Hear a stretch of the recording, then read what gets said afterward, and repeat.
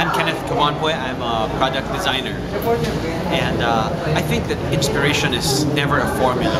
You, know, you have to look for it and you have to spend time to look for it. Um, it's not a flash of uh, lightning. You know, I think that, that the, the best um, inspiration comes from uh, hard work, from really sitting down, really trying to come up with. Sometimes it works and sometimes it doesn't, but I think that's what makes design so challenging. You know?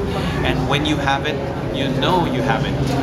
And uh, I get inspired by a lot of things nowadays, you know, because I guess I've been doing it for so long. This exercise always of turning um, something from inspiration to an actual form. And uh, the more you do it, the easier it is to see something you like and try to abstract what's beautiful about it you know, and turn it into something that's uh, usable. Thank you.